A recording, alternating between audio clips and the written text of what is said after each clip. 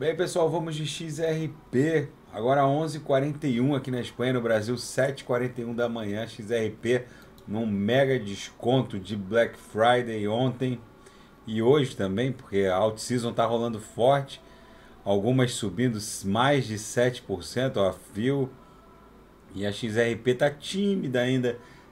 Ela ameaçou aqui perder a mediana do canal de Keltner no semanal mas eu acredito que até o domingo ela não vai.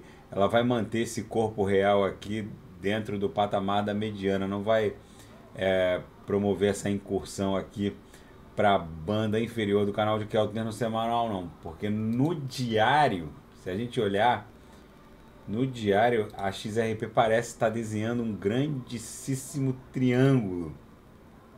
Ela a XRP ela parece parece que está desenhando assim um, um, uma figura triangular.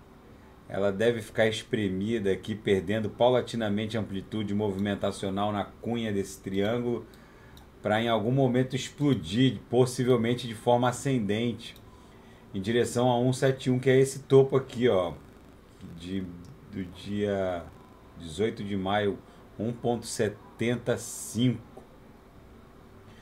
essa é a movimentação que eu estou lendo aqui na XRP.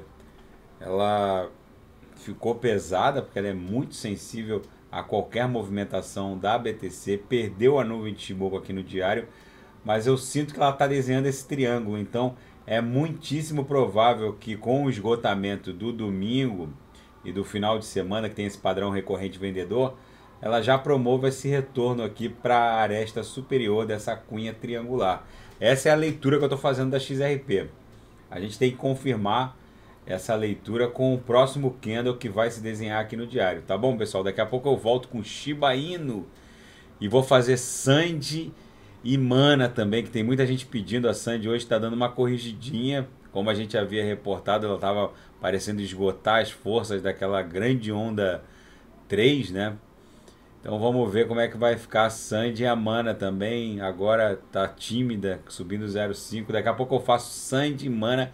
E vou fazer Raka também, que tem muita gente pedindo. Até daqui a pouco, pessoal. Grande abraço.